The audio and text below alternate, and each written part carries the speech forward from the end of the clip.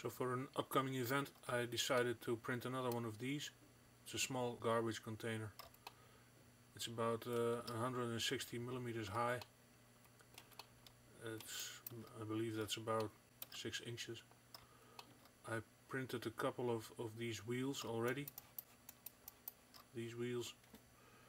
Um,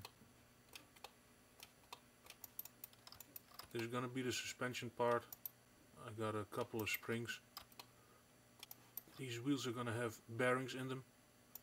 These bearings, two bearings per wheel, just to make them run smoother. What I'm gonna do now is print this entire body. My slicing program tells me it's gonna take about 16 hours. No problem. Uh, it's the weekend right now, so I have time.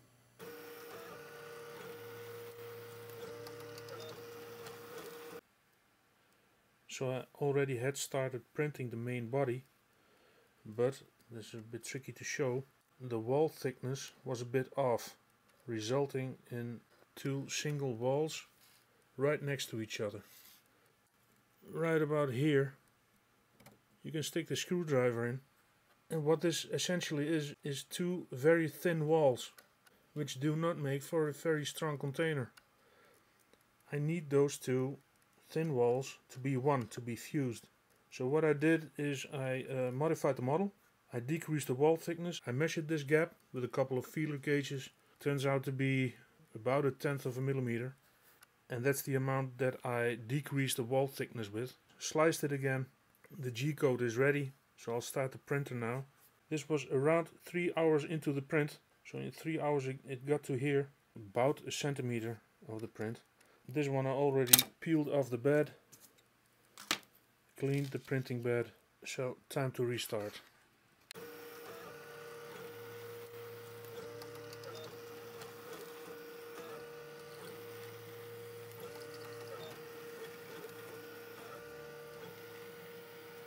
So the print is finished, finally.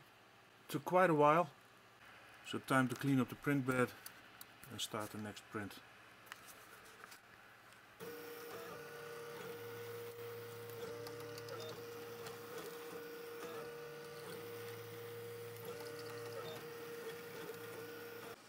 So now it's time to uh, assemble the wheel assemblies. That means uh, the tire, the rims, the rim and the hub combination. A couple of bearings for each wheel, a bolt and some odds and ends. So this is the drawing. Here's a cross section. And these are the parts. This is one such wheel. After drilling I also reamed the holes just to make the bearing fit. Fits in there nicely. And the second bearing will go here. Also tight fit. Same goes for the other one. Also one of these assembly parts is this small brass pipe. Is an actual technical drawing. The length should be 9.2 millimeters. 9.2. This is the other one.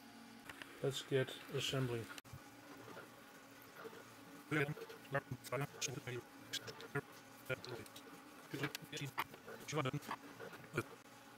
now in goes the brass pipe.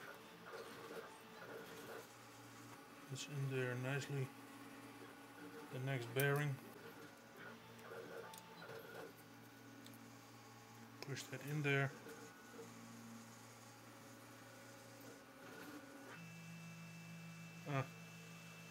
My printer is ready. I need to switch parts. Back in a minute. Add another washer. And this gets screwed into the wheel hub. But for now I'll close it off with a standard M3 nut. Just so it won't fall out. Next one. Same procedure. Start with a bolt. Small washer. One bearing that gets assembled into the rim. Then a small brass pipe, the second bearing, push it in there, a second small washer, and for now secure it with a small nut. Actually I've got two sizes of rims. I've got these fat wheels and I've got these low section wheels. Actually they're both same outer diameter, same width, only a relatively high section, a very low section. Looks quicker for a garbage can. Next.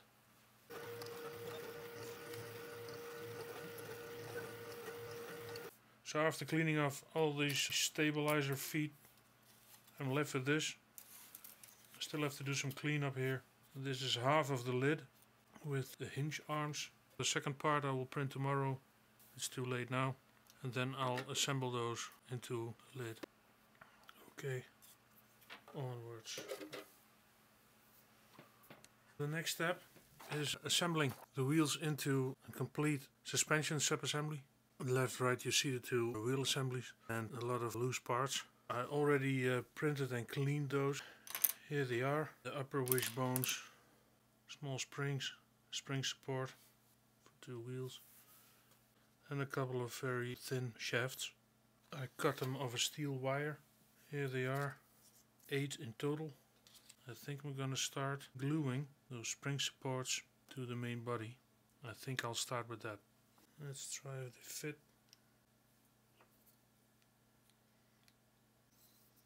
Does that work? Oh, no, the angle isn't right. Guess I'll have to hold it down by hand. No need to wait. A Couple of drops should do, like so.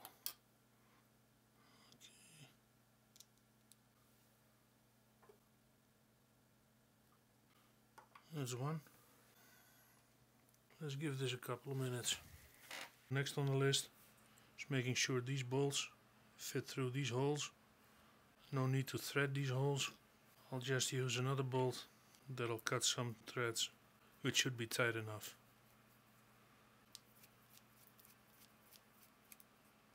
So that's one. And the other one. So now we know that that fits put these two to the side and we'll start assembling this, the actual suspension.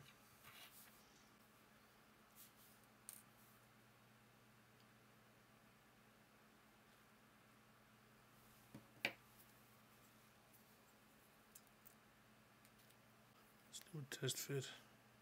Far too tight. I think I'll re-drill those holes. Let me get a drill of 1mm. After a bit more fiddling and drilling, I finally got the first shaft in. And it works pretty nice actually. Now for the second one. Dry fit.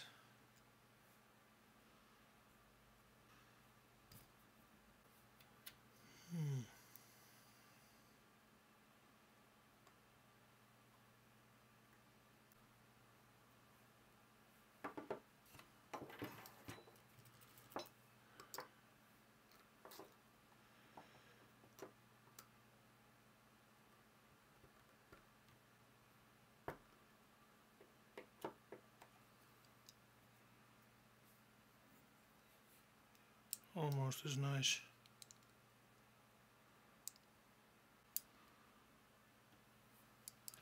For the two lower wishbones. For that I need these 12003 shafts which have a length of 33. Alright, well let's do a test fit. Yeah, that's too tight. That needs some more cleaning up. After a bit more cleaning up the lower wishbones also are on there. Now I have to fit these two with these four shafts. Two short ones, two longer ones. These go on like so. The long shaft at the bottom, the short shaft right on top and the same on the other side. After a bit more fiddling it now fits. The springs are a bit too loose Maybe I'll put some padding below the spring there.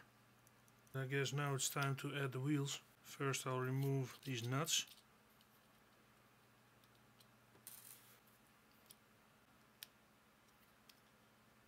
Very nice. And now comes the tricky part. Add that little nut to the end of the bolt.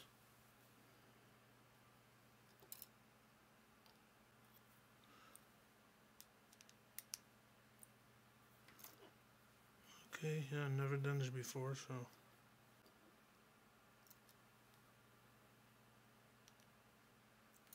that's good enough. There's one. Same goes for this one. Take off this temporary nut.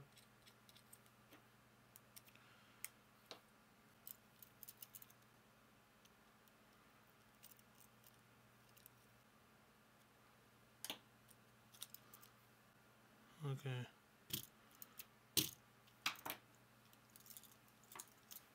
So, so far it seems to work.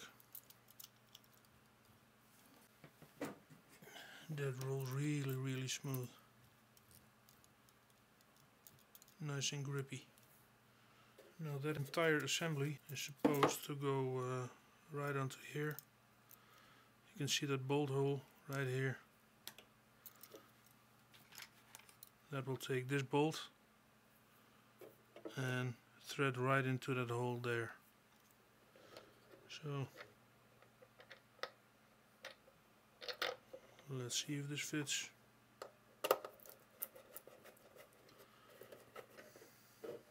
yeah I'll have to tighten those uh, those springs this is far too loose this is funny the first springs were far too loose. These are a bit tighter. I found these. Seems better suited to the weight of this trash can. So I'll try these springs. Should work better.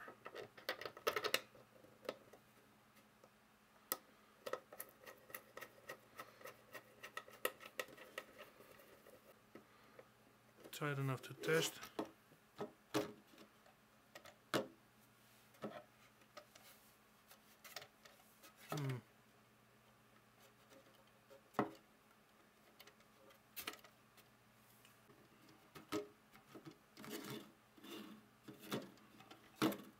That's better. I think I'll leave these on for now. I think I'll leave this in place. I'll tighten this down. This is tight enough. It's never gonna come off. Well, of course, if you take out the bolt, yeah. So I guess this part is finished.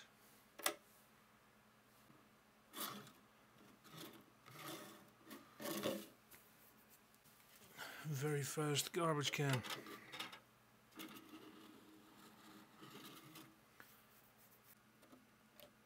Also works.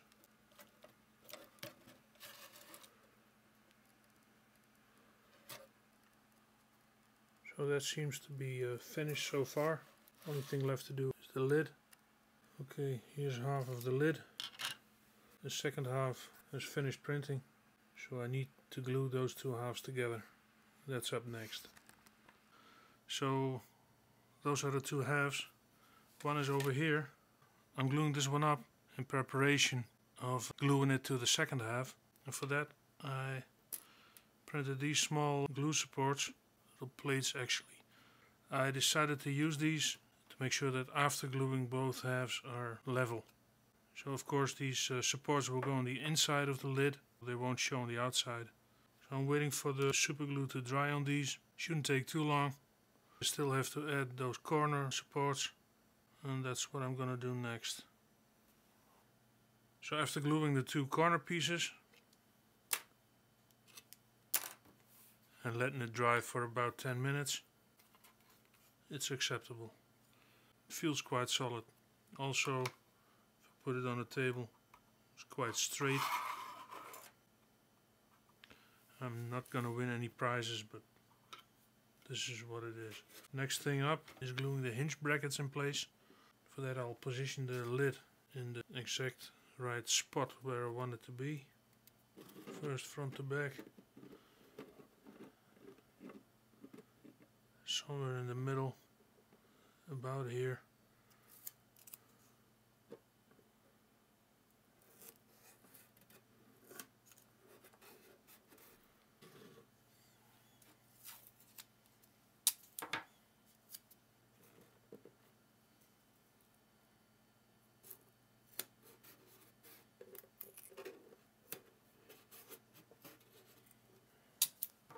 Whenever tape fails, use more tape.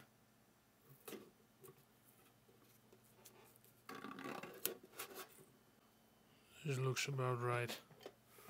Okay. So I chose red for this. I'm gonna need a piece of PLA filament about this long. I'll shorten it to the correct length later.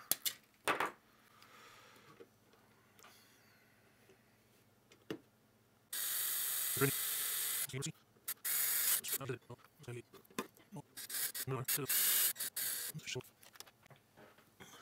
do a quick test fit.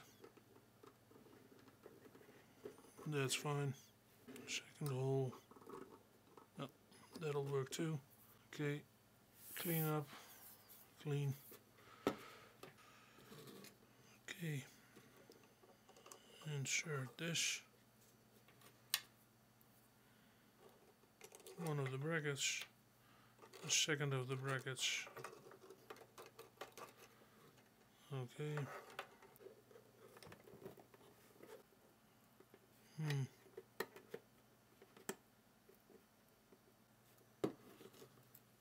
That should about work. I'm gonna glue this. So I went ahead and glued the hinge plates. A bit of cleanup. There's a bit of squeeze out, but that'll dry. They're almost dry now, so. And while I was at it, I also glued the, the handles in place.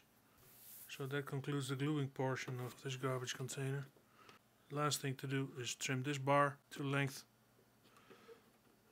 This stick out length should be enough. Sadly I couldn't find my old soldering iron, so I'll use this one. Okay.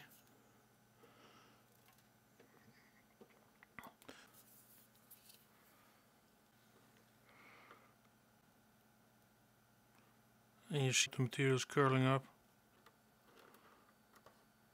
That's not good. Let's try that again.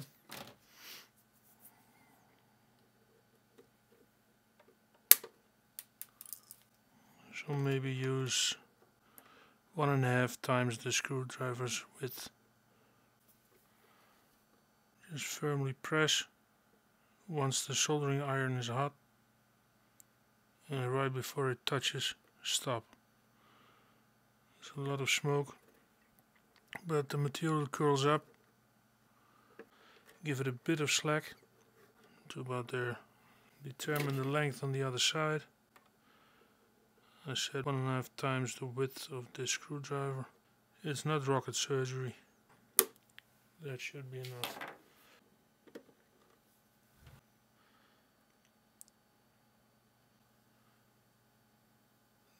not much force needed right here that should do nicely.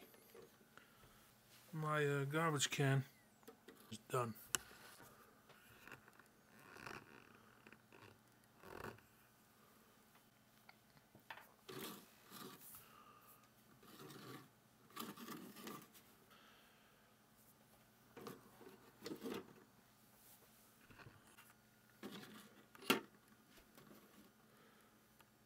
Okay, that's it from Garbage Central. See you next time.